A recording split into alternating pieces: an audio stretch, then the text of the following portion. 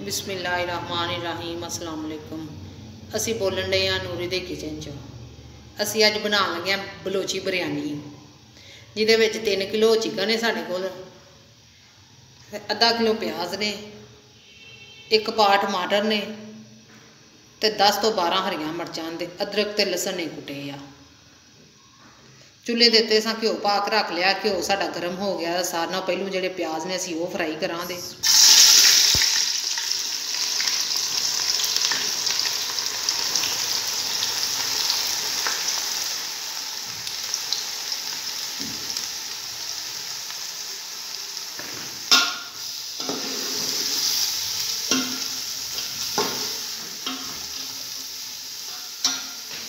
ਪਿਆਜ਼ ਮਾਸ਼ਾਅੱਲਾ ਸਾਡਾ ਬਰਾਊਨ ਹੋ ਗਿਆ ਤੇ ਇਹਦੇ ਵਿੱਚ ਅਸਾਂ ਜਿਹੜਾ ਅਦਰਕ ਤੇ ਲਸਣ ਅਸਾਂ ਕੁੱਟ ਕੇ ਰੱਖਿਆ ਸੀ, ਉਹ ਪਾ ਦੇਵਾਂ ਤਾਂ ਪਾ ਕੇ 3 ਕੁ ਮਿੰਟ ਵਾਸਤੇ ਅਸੀਂ ਇਹਨੂੰ ਭੁਨਾ ਦੇ ਤੇ ਉਸ ਤੋਂ ਬਾਅਦ ਜਿਹੜਾ ਚਿਕਨ ਹੈ ਅਸੀਂ ਉਹ ਮਿਲਾ ਦੇਵਾਂਗੇ।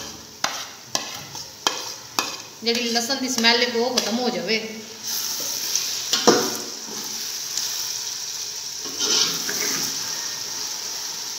ਸਾਡਾ ਭੁੱਜ ਗਿਆ ਤੇ ਜਿਹੜਾ ਚਿਕਨ ਹੈ ਅਸੀਂ ਪਾ ਕੇ ਤੇ ਚੰਗੀ ਤਰ੍ਹਾਂ ਅਸੀਂ ਭੁਨਾ ਦੇ ਬਿਸਮਿਲ੍ਲਾ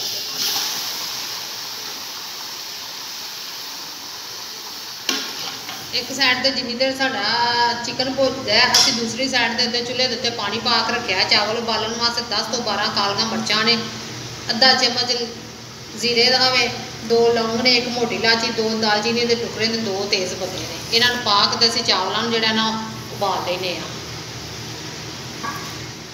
ਪਾਣੀ ਮਾਸ਼ਾਅੱਲਾ ਸਾਡਾ ਗਰਮ ਹੋ ਗਿਆ ਤੇ ਚਾਵਲ ਜਿਹੜੇ ਨੇ ਅੱਧਾ ਘੰਟਾ ਹੋ ਗਿਆ ਅਸਾਂ ਭਿਉਂਕ ਰੱਖੇ ਨੇ। 1.5 ਕਿਲੋ ਦੇ ਕਰੀਬ ਸਾਡੇ ਕੋਲ ਚਾਵਲ ਹੋਣੇ ਨੇ। ਇਹਦੇ ਵਿੱਚ 1.5 ਚਮਚ ਅਸੀਂ ਨਮਕ ਦਾ ਪਾਵਾਂਗੇ ਤੇ ਨਮਕ ਜਿਹੜਾ ਘੱਟ ਹੀ ਪਾਇਆ ਜੇ, ਕਿਉਂਕਿ ਤੁਸੀਂ ਚਿਕਨ ਦੇ ਵਿੱਚ ਵੀ ਨਮਕ ਪਾਣਾ ਤੇ ਨਮਕ ਤੇਜ਼ ਨਾ ਹੋ ਜਾਵੇ, ਨਮਕ ਜਿਹੜਾ ਨਾ ਆਪਣੇ ਹਿਸਾਬ ਦੇ ਨਾਲ ਘੱਟ ਪਾਇਆ ਜੇ, ਤੇ ਇਹਨੂੰ ਅਸੀਂ ਬਾਲਾ ਆਉਣ ਤੱਕ ਅਸੀਂ ਇਹਦਾ ਢੱਕਣ ਬੰਦ ਕਰ ਇਹਦੇ ਵਿੱਚ ਜਿਹੜੀਆਂ ਹਰੀਆਂ ਮਿਰਚਾਂ ਤੇ ਟਮਾਟਰ ਅਸਾਂ ਕੱਟ ਕੇ ਰੱਖੇ ਨੇ, ਅਸੀਂ ਉਹ ਪਾਵਾਂਗੇ ਤੇ ਜਿੰਦੇ ਟਮਾਟਰ ਨਹੀਂ ਗਲਦੇ, ਅਸੀਂ ਇਹਨਾਂ ਨੂੰ ਨਾ ਚੰਗੀ ਤਰ੍ਹਾਂ ਭੁੰਨਾਂਗੇ ਇਹਦੇ ਵਿੱਚ ਅਸੀਂ ਹੁਣ ਨਮਕ ਮਿਰਚ ਪਾਵਾਂਗੇ ਡੇਢ ਚਮਚ ਅਸੀਂ ਨਮਕ ਦਾ ਪਾਵਾਂਗੇ 3 ਕਿਲੋ ਚਿਕਨ ਹੈ ਸਾਡੇ ਕੋਲ ਤੇ ਡੇਢ ਚਮਚ ਅਸੀਂ ਇਹ ਚ ਨਮਕ ਦਾ ਪਾਵਾਂਗੇ। ਅੱਧਾ ਚਮਚ ਅਸੀਂ ਹਲਦੀ ਦਾ ਪਾਵਾਂਗੇ। ਅੱਧਾ ਚਮਚ ਅਸੀਂ ਲਾਲ ਮਿਰਚਾਂ ਦਾ ਪਾਵਾਂਗੇ। ਤੇ ਅੱਧਾ ਚਮਚ ਅਸੀਂ ਕਾਲਾ ਨਮਕ ਜਿਹੜਾ ਨਾ ਅਸੀਂ ਉਹ ਪਾਵਾਂਗੇ। ਕਾਲਾ ਨਮਕ ਪਾਉਣ ਦੇ ਨਾਲ ਤੁਸੀਂ ਬਿਰਿਆਨੀ ਦਾ ਜ਼ਾਇਕਾ ਵੇਖਿਆ ਜੇ ਬੜਾ ਮਜ਼ੇ ਦਾ ਹੁੰਦਾ ਹੈ। ਇੱਕ ਚਮਚ ਸਾਬਤ ਜ਼ੀਰਾ ਪਾਵਾਂਗੇ।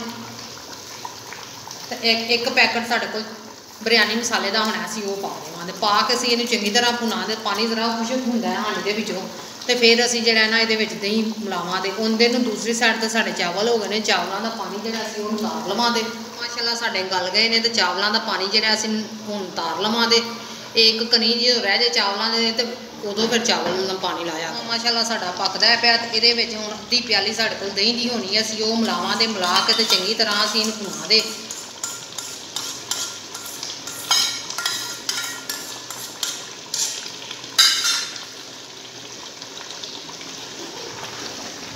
बड़ी अच्छी कुछ बहुत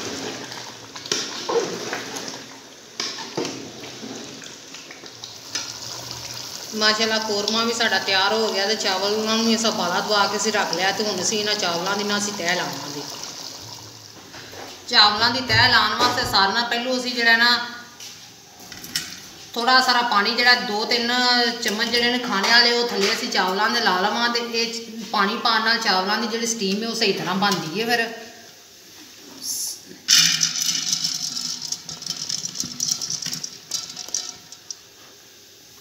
ਇੱਕ ਤੈ ਅਸੀਂ ਚਾਵਲਾਂ ਦੀ ਲਾਵਾਂਗੇ ਤੇ ਇੱਕ ਅਸੀਂ ਕੋਰਮੇ ਦੀ ਲਾਵਾਂਗੇ। ਜਿਹੜਾ ਕੋਰਮਾ ਅਸੀਂ ਇੱਕ ਤਾਂ ਚਾਵਲਾਂ ਦੇ ਥੱਲੇ ਲਾ ਕੇ ਤੇ ਅਸੀਂ ਕੋਰਮਾ ਜਿਹੜਾ ਅੱਧਾ ਅਸੀਂ ਪਾਵਾਂਗੇ ਉੱਤੇ। ਫਿਰ ਅਸੀਂ ਚਾਵਲਾਂ ਦੀ ਤਹਿ ਲਾਵਾਂਗੇ ਤੇ ਫਿਰ ਕੋਰਮਾ ਅਸੀਂ ਪਾਵਾਂਗੇ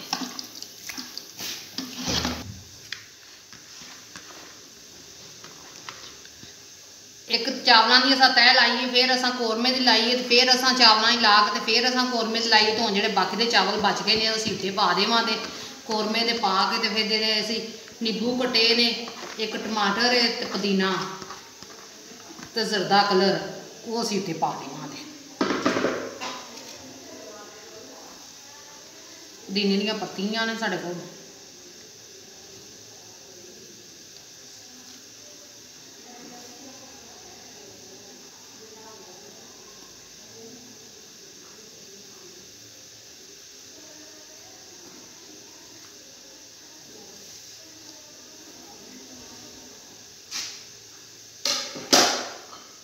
ਤੇ ਜ਼ਰਦਾ ਕਲਰ ਹੈ।